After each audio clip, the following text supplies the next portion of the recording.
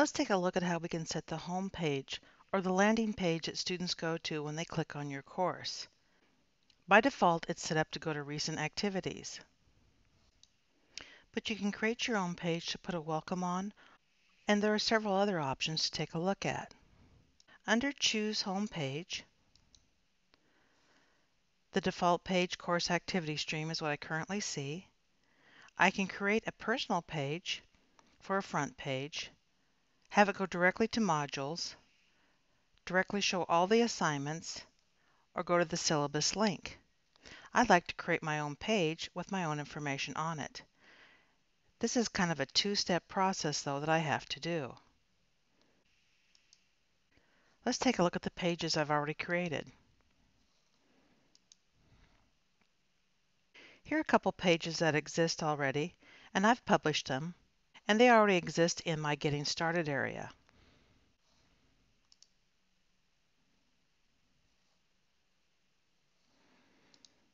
I'll go back and look at my pages again. I like to create a page for a welcome screen to welcome people to my course. So I'll create a page.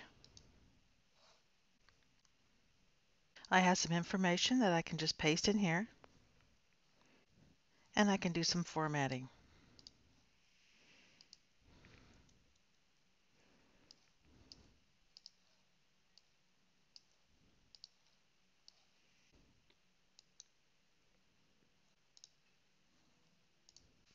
If I wanted to add an image, I'll simply click on Embed Image.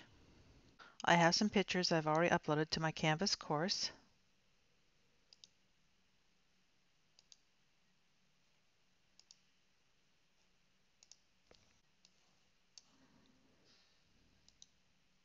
And I think I'll use that instead of my welcome message.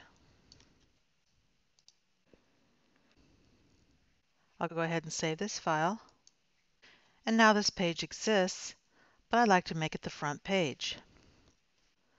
I'll go back to Pages and back inside my Pages. I'll see my Welcome to Class page here. And I'm going to say Use as front page. The terminology front page and home page are interchangeable in Canvas. So when they refer to a front page, it also could be referring to as a home page. But I still have another step I need to do to make this the entrance page for my course. Because if I come back into my course, I'll notice that the activity stream is still the default landing site for my course. The next thing I need to do is select Choose Home Page, go to Pages, Welcome to Class is set as the front page, it knows to use that, so I'll just click Save Now. This is now my entry site for my course. And also the homepage link.